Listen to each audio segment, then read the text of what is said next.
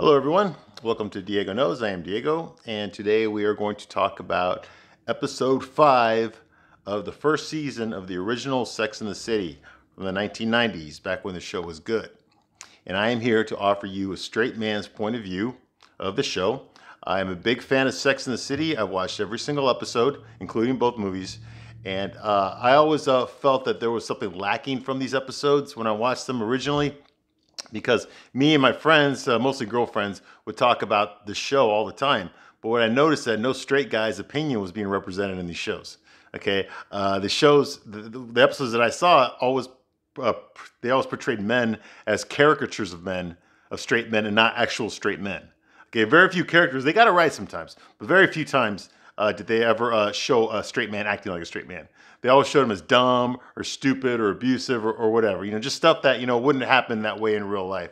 So I'm just giving in my two cents uh, to let you know what was realistic from a straight guy's point of view, what was realistic from the episode, and what was not realistic in the episode. Uh, yes, I have a lot of complaints about the show, but this is coming from a place of love. I am a legitimate fan of the show. I did love the show. And I'm currently reviewing the new show, and just like that, and every time a new episode comes out, I'll review it the next day. Okay, but this is the original show. So to start off with, all right, uh, this episode is uh, episode five in the first season. It's called The Power of the Female Sex. Now, this episode opens up with uh, Samantha and Carrie are at this nice restaurant called Balzac, which I guess is this posh, upscale restaurant in, in downtown New York. And they're trying to get in. They've been waiting 45 minutes. The place is jam packed. Uh, they can't get a table. Uh, so they keep, uh, Samantha keeps harassing the hostess. Like, hey, you know, we've been waiting forever. When are you going to seat us, you know? And Carrie makes, make, plays it off like this is a position of power. Like the most powerful person in Manhattan is the door is the uh, hostess at Balzac because she has the power to seat you. Okay, like like you can't just go somewhere else to, to eat, right? You got to go there, right? Uh, elitism. Okay, but then once again, this Sex and City is about, about about a bunch of rich, you know, New York women, middle aged women. Okay, so they're there, and um, see, a man, what. Uh, they end up having to leave because they don't want to wait anymore. Samantha's like, you know, I used to be a hostess and this and that. And they, she actually tries to bribe the, the hostess with 20 bucks, but Carrie doesn't have 20 bucks. And uh, Samantha reveals that 10 years ago she used to be a hostess too, but she she wielded her power, you know, good naturedly or whatever, whatever you know. She, I don't get it. But uh, anyway, so Carrie decides to go shoe shopping. And while she's there, uh, the guy at the store uh, cuts her credit card because apparently she doesn't have any money. Her credit's no good because of her shoe shopping. Uh, I guess that's her therapy. She buys way the hell too many shoes that she can't, you know, wear. Uh, luckily, one of her friends, another friend, because remember, Carrie knows everybody in New York, even though you, you, they show up for one episode, then you never see them again. Uh, this this lady shows up named Amalita. Now Amalita, I think she's Italian. She speaks with an accent. I don't know for sure what she is. I'm guessing she's Italian, but she's one of these like like rich socialite women. And I honestly, I don't get it because she she's attractive, but not that attractive. And what I mean by that is that she's attractive for like a 45 year old woman. Uh, but like a 25 year old woman's standards, she's not attractive. Okay. But you know, she she kind of reminds me of like a of an Italian Zsa Zsa Gabor. You know, uh, you know, one of those rich people. Just oh my God, darling, ah, you know, like that. She's like this party girl, this socialite. You know, like her. She doesn't have a job. Uh, Carrie actually, she doesn't have a job. She just dates rich people. That's that's what that's her job. She dates a bunch of rich people and they pay for everything for her. They provide her her standard of living. They buy her gifts. They pay all of her bills you know, and all she does is go out with them and she socializes and she goes to rich people's parties. And I guess that's that's there's people that actually do that, you know. That's what she does. Her name's Amalita. I, I forgot her last name, but she's there at the shoe store because uh, this is an upscale shoe store with her boyfriend uh, Carlo. Carlo, who doesn't say anything, and uh, she actually shows up and agrees to pay for those shoes for uh, Carrie and Carrie's like, oh, you don't have to do that. She's like, I'm not doing it. My boyfriend Carlos paying for it, not me. How you been, sweetheart, darling? You know, that kind of, sh- you know, just pretentious, just this party girl, you know? Anyway, the first thing she says after she, you know, agrees to pay for the shoes is she tells Carrie, um, oh, that's my boyfriend Carlo. He has the tiny little penis, but he knows how to use it. like, like, really? Is that the first thing you're to tell someone? You know, when you first meet them, is that your boyfriend has a little dick? Really? Is that something that, that she needs to know? I mean, I, mean, I, I can understand this is one of the four girls, you know, if this was Samantha or Miranda or Charlotte, but this is just some girl that Carrie knows somehow. We don't know how she knows her, but she knows her. Um, anyway, she's just in town, whatever. And uh, So uh, I guess she invites her to um, a restaurant or something for later, and that's that. Nothing much happens with that. Um, but she does. Uh, Carrie does ponder this the idea that Amalita just dates a bunch of you know rich people, and that's how she makes her living just by dating rich guys. So she says, "Well, where do you draw the line between being um, a professional girlfriend or just being professional? Like, where's the line between you know just dating guys for money or just being a whore? You know, just being a prostitute, basically. You know." Um, so that, that's the thesis of this episode. So of course she talks to her girlfriends about it while they're playing poker or something at her apartment, and um, they all chip in. Of course, um, they start talking about how women use their sexuality to take advantage of men, uh, but yet men are not allowed to use their sexuality. So it's it's, it's just um, it's a double standard here. So what they're, what they're discussing here is that it's okay for women to use their looks to get things from men, okay, but it's not okay for men to expect to get things from women by them using their money. In other words, um, the, the, a classic arguments, okay, that we always have. Like women think like it's okay, you know, like if a woman looks good, it's okay for a guy to spend money on a woman, buy her dinner, take her out, take her, you know, spend all sorts of money on her. That's okay because she looks good. It's not okay for a guy to expect sex because he spent all this money on her. That's not okay. All right. So it, it's a double standard. Um, but you know, you know, there's different ways to go about it. About that, you know, I mean, there's wealthy women out there that date men that are that are don't have as much money as them. You know, I've been in that situation before. Also, there's you know, there's there's people that don't expect anything. You know, uh, and there's there's people that do all the time. You know, it, it all depends. Um, it's kind of the way society is. You know, this is under the assumption that that all men are wealthy and that they can afford to spend money on beautiful women. Not all men can. You know, in the society that we're living in today, it's, it's really kind of hard to do that now. But this is New York. These are rich people's problems. So you know, this is the kind of stuff they deal with all the time. Uh, personally, you know, you can't make anyone do anything. You know, I can't make a girl have sex with me if she doesn't want to. But at the same time, she can't make me take her out to a nice restaurant either if I don't want to go. You see what I mean? So it works both ways, you know, and, and it goes and backwards, you know, the other way around too. You know, like like if she, uh, you know, if she wants to fly me to the Bahamas, or something. I can always say no. I don't want to go. You know. I mean, it's like you know we, we all have we all have the right to do whatever we want. You know. And if, they, she has a problem, guess what? You ain't the only girl in the world. Just like I'm not the only guy in the world.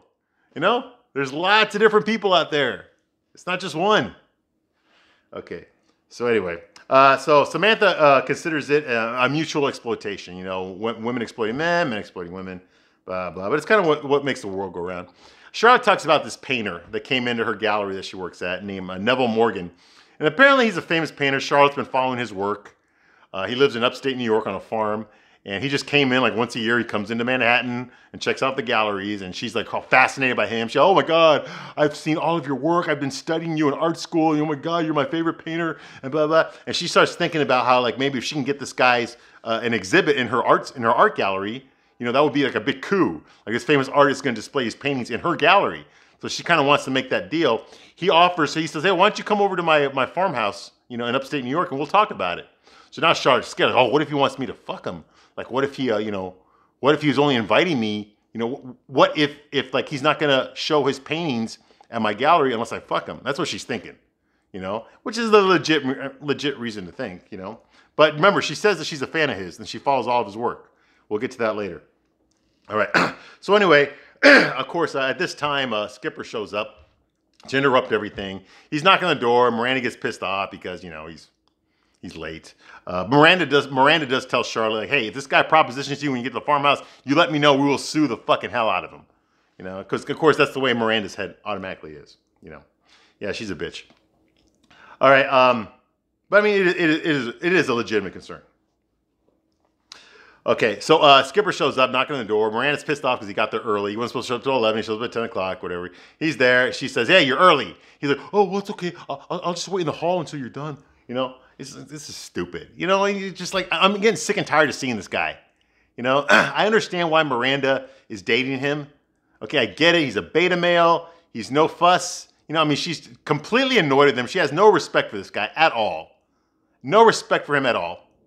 Um, she treats him like he's, uh, you know, she actually says in this episode, she says that he's like a seal. Okay, he's like a seal pup, you know, that that you you want to hit with a club. You know, like like she's fucking him, but she's annoyed with him. She's tired of him. He's always bothering her. He's cl- he bumps into her in this scene. Like he's got no sense of direction. He has no uh, no self esteem. You know, oh, it's okay. I'll just wait in the hall until you're done. I don't mind. You know, like he's, just a fucking beta male. He's just God. I just can't stand him. And the fact that you know they're not saying this in that episode, but I'm gonna say it. Okay, I'm gonna say it right now. Okay, the reason Miranda's dating this guy, okay, is because she can't find a guy. She can't find a real high value man. She can't get a high value man. Not with that attitude. She cannot get a high value. So this is better than nothing. Nobody says it, but I'm saying it. Okay, I'm a straight guy. I'm watching this interaction here. Okay, the fact that these girls aren't going to say it to her because they don't want her feelings. But the truth is, she can't get a better guy right now. She's not in that mindset. She's all about fucking. I hate men. I'm disgusted by men. Men are all pigs. Men are all superficial assholes that don't give a shit about me. All they do is look at a girl for her looks and judge her by that and da da da. But the truth is, she's saying all this stuff because she is not getting her needs met. Men don't like her. Men do not like her. The men that she likes don't like her. So she's having to settle for this guy. All right? I know it. You know it. Skipper doesn't know it. Okay? But uh, the girls know it, but they're not going to say it because they don't want to hurt her feelings. And the people that wrote the show know it, okay? but I'm calling it out. I'll fucking say it right now, okay? She's pissed off. She can't get a better guy. And she knows she can't get a better guy. Maybe un- un- unconsciously she knows it, but she, she knows she cannot get better than Skipper. At least not right now, okay? We'll get to that later when that happens. Okay, but yeah, he's, he's just a beta male piece of shit. Okay. Anyway, uh, moving on with the story, Amalita shows up and invites Carrie out. Uh, at this restaurant or something. Uh, yeah, she calls up Carrie. Hey, don't you come over? So Carrie decides to go over there. So she goes to this nice restaurant here, and, and Amalita's there. And the first thing Amalita does, she shows off her diamond bracelet that her boyfriend bought her. And then she introduces Carrie to this French guy named Gio or Jean or G. I think his name is G. I don't fucking know. Anyway, he's this good looking French guy. He's an architect, and he's in town for a couple of days, for like two days, just for the weekend. And she uh, and she invite you know Amalita invites Carrie to sit down uh, with them at the table. So they start talking. Uh, uh, they end up hitting it off. Uh, they decide to go out after the restaurant. Uh, they, start, they start walking around town, you know, talking and stuff. Uh, he, he talks about how his business is. He's in Brazil. He's he's got to go to Brazil in a couple of days. He to oversee construction of a new hotel. I guess he runs a bunch of hotels. And and Carrie just starts talking about how she doesn't have any money, and how she has a shoe addiction, you know, and that uh, you know yeah, she's just you know she she likes what she does, but you know it pays okay, but you know she can't help herself, so spending all her money on shoes. Like that's what she's talking about. Yeah, I'm, I'm sure the guy gets really turned on by that. But he keeps telling how beautiful she is. Oh, you're so lovely, a beautiful Carrie. Don't doesn't it pay enough well writing for the newspapers and the magazines? You're so lovely, so beautiful. My goodness, I do not understand how a woman like you can be unattached it, it, it, it befuddles me. I do not understand so lovely you are. Your beautiful kin. Your precious eyes. This fucker's just laying it on thick. Just fucking laying it on. Okay, and of course Carrie's going, ah, you know. So I guess she um she agrees to see him again. Um, you know, and then when she says goodbye to him that night, you know, she's like, Ooh. she's floating away. Like they actually did that. Like like they actually put her on a crane and then levitated her from the scene. So she's like flying away. She's like, oh, you know, yeah, like that. Yeah. I'm telling you, man, this show, at least, at least I don't think they broke the fourth wall. This is like the closest they came to breaking the fourth wall in this episode. Anyway, moving right along, Skipper shows up at her apartment and she's there and she's like in her like un- not underwear but she's in her pajamas or something. And skipper shows up and the first thing he does when she opens the door is like you know maybe i shouldn't be here. I'll just leave. And she's like no no you already fucking woke me up knocked on the door. I already opened the door for you. Come on in. They start talking. It's the same shit from last episode. Oh, i don't think miranda likes me. She doesn't respect me. She just treats me like i'm an object. I don't understand. Why doesn't she love me? Why doesn't she want to just do other things with me? All she wants to do is have sex then she kicks me out of the apartment. And i don't understand why. You need to talk to her.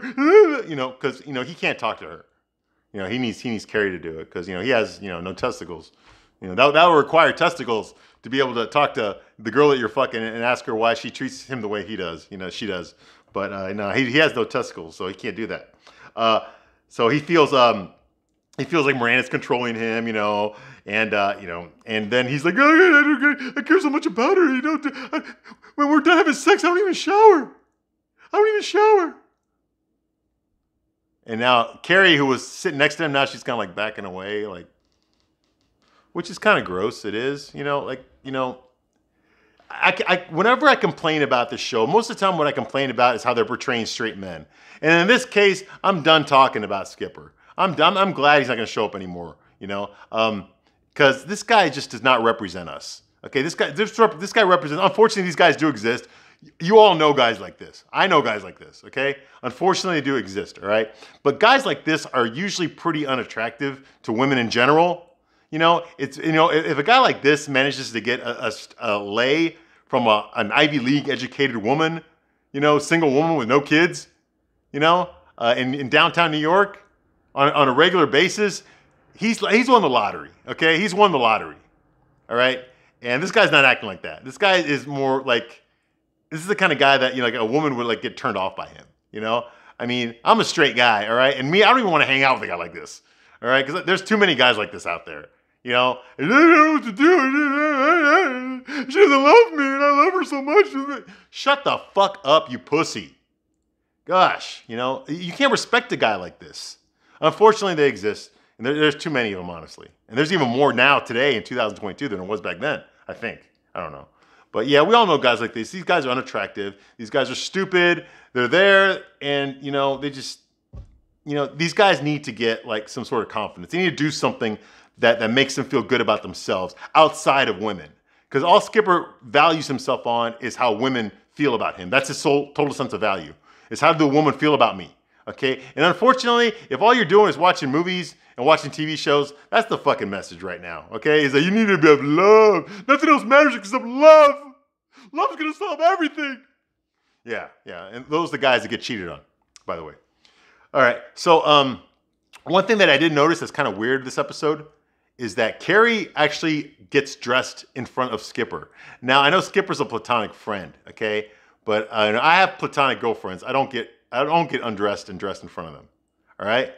Uh, the, the the the times in my life where that has happened, you know, like the girl will be, oh, you know, she'll look away or something, or at least she'll pretend she's looking away, okay? Or she'll leave the room while I'm getting dressed or something, you know? Or I'll say something, hey, I need to get dressed. Do you mind waiting outside? Something like that, you know? I'm not gonna fucking get undressed and dressed in front of a platonic girlfriend. Okay, I'm not gonna do that. I'm not.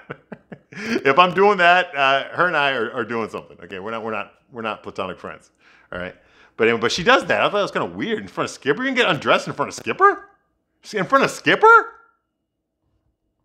Like, how often do you do that? Anyway, all right, so um, that happens. Uh, Geo and Carrie they hang out in Central Park all day.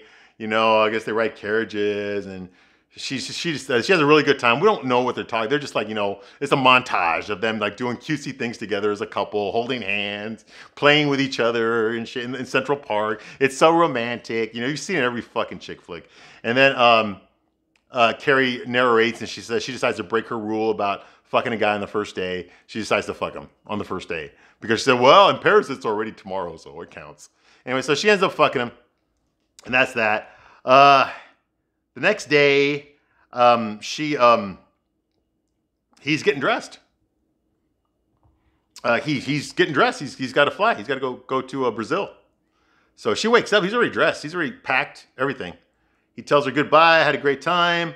Uh, you know, and he says I'll call you. And then he leaves. He says, he says, "Go ahead, order room service, whatever. You know, you got the room for you know until the afternoon. You know, stay in bed. That's fine. You know, I got to leave. I'll call you sometime. And then he leaves, and then she realizes she never even got his fucking phone number. she has no way of contacting him. No email, no phone number, and he doesn't have hers either. So, uh, but she does notice an envelope, and in that envelope is a grand. So he left some money for her. So now she doesn't know whether to be flattered, whether to keep the money, or whether to, you know, give it away, or, or this mean does this mean that he thinks she's a prostitute? Because she doesn't want him to think that. Does she see herself as a prostitute? Is that what she's doing? She's prostituting herself? Is that what all this was? You know, uh, my answer to that is no, she's not a prostitute. Carrie's not a prostitute. She did not expect to get paid for having sex, but he paid her. Now, there's different ways you can look at this, okay? This is how I look at it, all right? I think a guy like that, with that much money, who can just drop a grand at the drop of a hat. Um, and the fact that Carrie is not a professional prostitute, okay, he could have gotten a professional prostitute if he wanted to, all right? Amalita could have got him a professional prostitute, all right? A porn star looking prostitute, but that's not what happened, all right? I think what happened, Carrie sees herself, oh, he thinks I'm, I'm a hooker, and that's why he left the money. But what I think, what I think is this guy was just being nice. Okay, because you got to remember, all Carrie talked about that first night was how she doesn't have any money, how she has a shopping addiction, and how like her job pays well, but she spends it all on shoes. And I think that he just felt sorry for her, and he wanted to, you know, make her feel good. So here's some money, buy some shoes. I think that's what it was. We don't know for sure. Carrie thinks it's for the sex. He's paying her for the sex, you know, that they had. I don't think it is, you know, because he could have paid, you know, I'm not putting anything against Carrie, okay? But Carrie is not a professional sex worker. Professional sex workers look different. And a guy with this kind of money, with the means that he has, is not going to get an above average looking girl. He's going to get a super above average looking girl to pay for sex. He's not going to get Carrie. All right? So I don't think that he ever saw her as a prostitute. I think he was just, you know, she's always complaining about not having money. So I'm just going to drop her a thousand bucks. You know, maybe she can buy some shoes with it. That's what I think. But anyway, she blows it all up because that's the way Carrie is. She invites all her girlfriends over to the hotel room. They all start, you know, ordering room service, having breakfast. You know, uh, Samantha talks about how uh, uh, prostitution is just an exchange of power. You know, like there's other ways to prostitute yourselves besides just getting paid directly for it. You know, guys can take you out to dinner, they can take you to the theater, they can buy you nice things and then expect sex for it, you know? And, and Samantha says, oh, you know, sex is power and money is power. So all I'm doing is I'm exchanging sex, you know, one form of power for another form of power. You know, makes sense. You know, I mean, it is. I mean, it is the second oldest. You know, occupation. It's not the first. Okay, the first is hunting. Okay, the second oldest occupation is prostitution. All right, profession. Sorry, the second oldest profession is prostitution. The first is hunting. No food, no fucking. All right, so um, so they have this big exchange about that, you know, and of course uh, Miranda she name drops uh, Camille Paglia. Now, for those of you who don't know, Camille Paglia is this super ultra liberal, I hate fucking men, feminist, butch, transgender, Ivy League, fucking uh, gender studies professor. Okay? I'm talking fucking cut the dick off. And now she identifies as transgender as well, as if that wasn't enough, right? you know, anyway, yeah, she's just well known in academia, uh, academia as this fucking man-hating lesbian, fucking feminist power. Men are all pieces of shit. You know, uh, you know what I would like Camille Paglia to do. Uh, you know, instead of you know when when we go to war again, which eventually will happen, you know, I would like for her to just you know take my spot instead of me getting drafted. I like her to get drafted because she's a man, right? And uh, I'd like her to go out there in the front lines, not back in the rear with the gear, cooking, you know, and, and, taking care of the sick patients, you know, the wounded, the wounded soldiers. No, I want her in the fucking front lines with me, next to me, when the bombs are going off and the bullets are flying in our direction. And I want to see how much of a man she really is. I, re- I would really like that, you know, equal rights, equal equal responsibilities, you know. Uh, I would like I would like that. I would like every feminist to take our spot. And when the draft goes on, have all the feminists go to war and have all the men stay behind and we'll work. Don't worry, we'll do our, our part. We'll work. You know, we'll we'll you know we'll do all the stuff that women were doing before the war. We can do it. What can they do that we can't, other than have kids? You know, what can they do? Let, let them do the fighting. Let them defend democracy. Let them defend the people in this country from invaders or from threats. Let them do it. Let all the liberal, uh, man hating feminists do it. Take care of it. Because they're the real men, right? Not us. We don't do shit, right? N- nothing in this whole world exists because of men. It's all because of the women, right? Of course, of course it is. All right. So, so anyway, uh, Amalita. Uh, oh yeah, uh, Miranda calls Amalita a hooker with a passport because all she does is fly around the world, fucking rich guys and living off of them. You know. Okay, well, I'm not saying she's not. Uh, Miranda and Samantha they fight about uh, feminism you know, uh, you know, like I said, you know, Miranda sees this as you know it's wrong. You know, like like women have all the rights that men have. You know, but they have none of the responsibilities that men have. Go figure, right? Like I said, you want to be a man, be a man. You got to you, you got to do all the shit that that sucks to be a guy. You got to do that too. Then, otherwise, it's not feminism, right? Okay, so uh, so there's that, and of course Samantha's like, hey, there's nothing wrong with accepting gifts for some pussy. There's nothing wrong with you know giving it up for to get some money back. You know, nothing wrong with that. And there's not as long as, long as it's all consensual, fine. You, you want to spend money on a prostitute, fine, do it.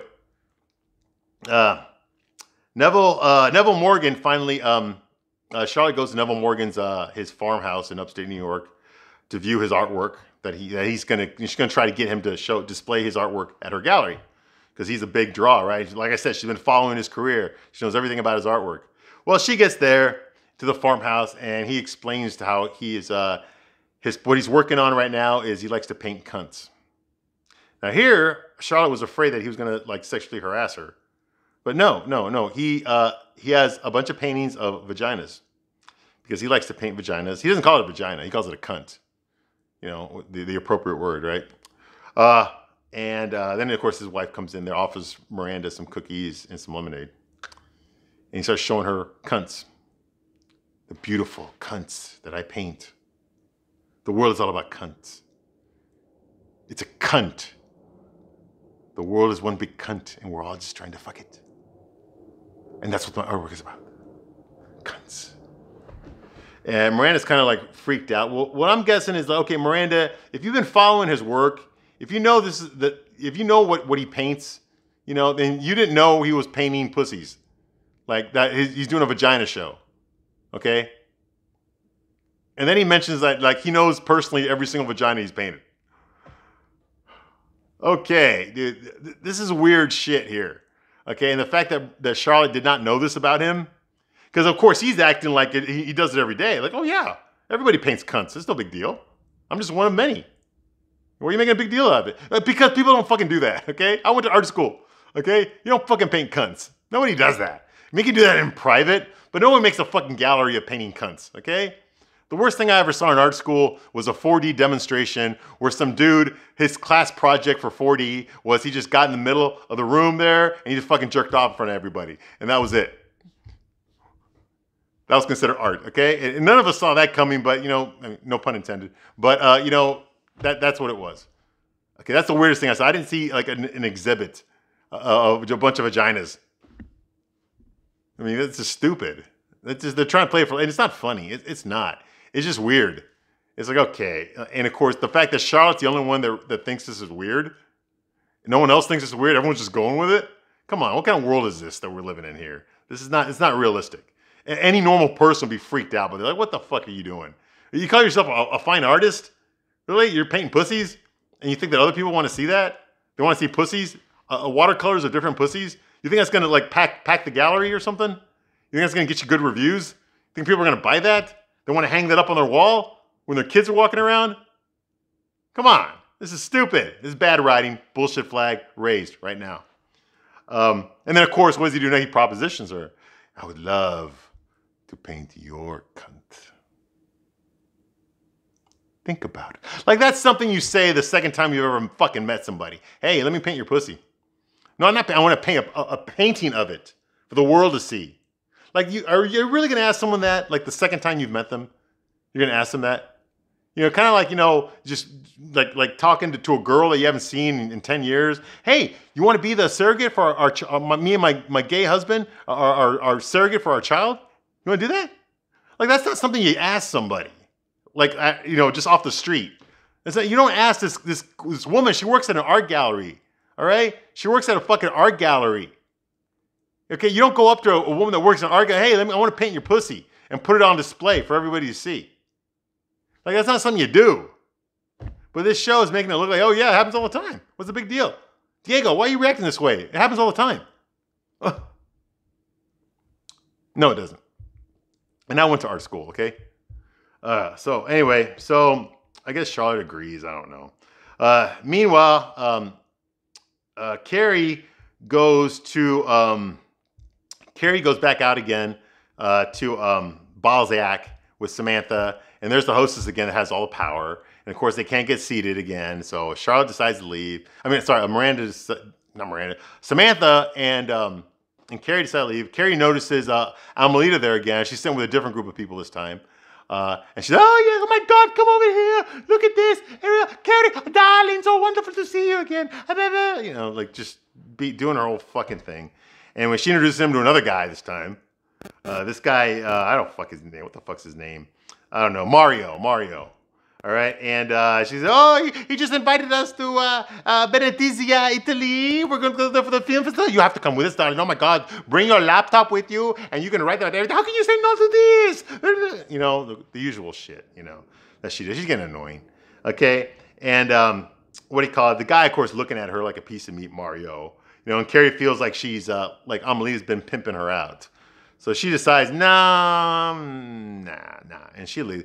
Good call good call, okay? Because I think in a lot of ways, um, Amalita is pimping her out.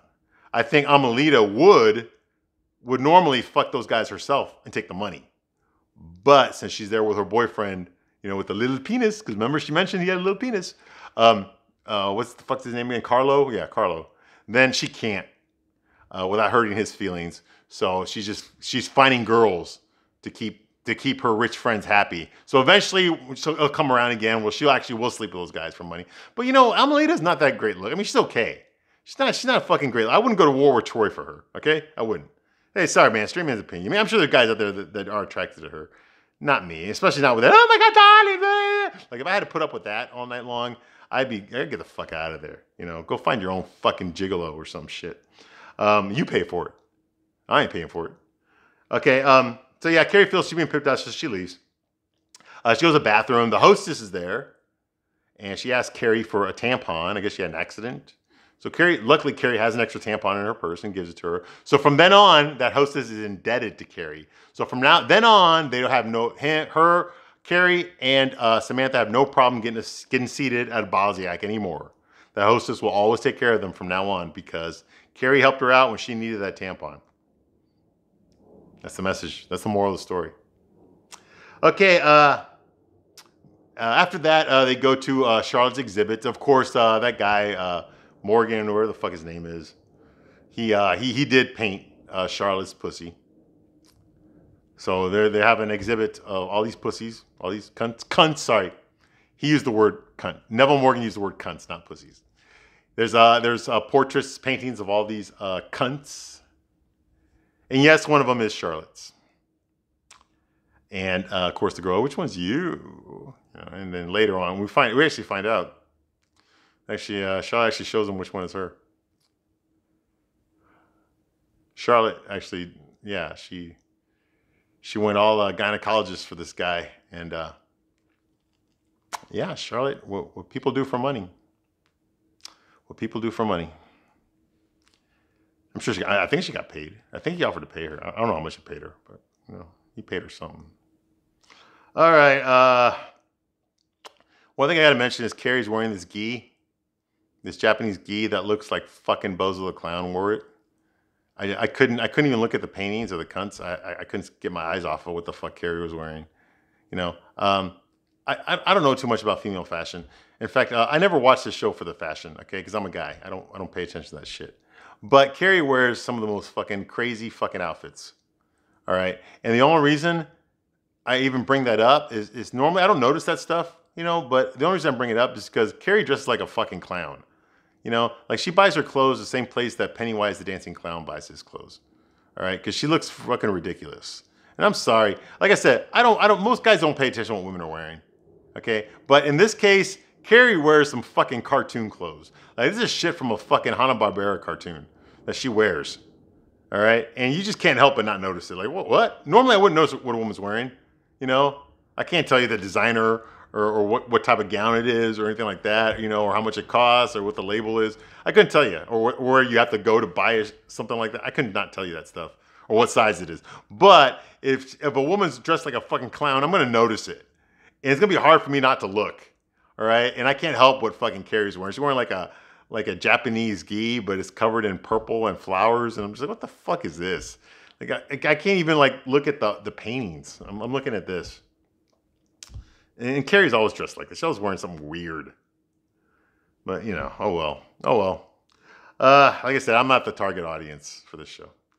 Okay, and one, one good thing uh, about this episode is they do play uh, that song that uh, I, I, like to swing dance, all right? one of the funnest things I can do is swing dance. You know, we're jumping around, jump jiving. Then you, uh, you know, well, one of the songs that I like to dance to uh, when you're swing dancing, um, Goody Two Shoes by Adam Ant is a good one too. But uh, one of the songs I like to dance with uh, is called "You and Me and the Bottle Makes Three Tonight." Because it's you and me and the Bottle Makes Three Tonight. You know, and they're playing that song at the art gallery, so that was cool. So they got the rights to that song. I love that song. That's a swing dancing song. You know, I love to swing dance. You know, to dress like it's 1940s and, and throw women around and stuff. It's, it's awesome. It's fun. It's fun. If you haven't done it, I highly recommend doing it. It's really fun. Um, so yeah, and that ends that episode. So uh, one one of the better episodes. It was just kind of there. Uh, I'm waiting. I'm waiting for us to get to the really raunchy stuff. Okay, I'm waiting for us to get to the, the really good drama stuff. You know, which is coming later. At this point in the show, they're still trying to find this footing. Like I said, it's only episode five. They're still trying to find their footing. They're just trying to figure out where they're going to go with the show. Um, you know, and, and there, there's no guarantee that we're going to get a second, or third, or fourth season, which they eventually did. So they start coming up with other ideas. You know, right now we're still in the okay. Uh, girl meets a guy, girl fucks a guy, girl finds something wrong with a guy. Boom. Next episode, rinse and repeat. You know, uh, we're still there right now. Uh, so anyway, so anyway, I'm going to keep watching the show and I will review the other episodes as they come along. All right. Thank you for watching this.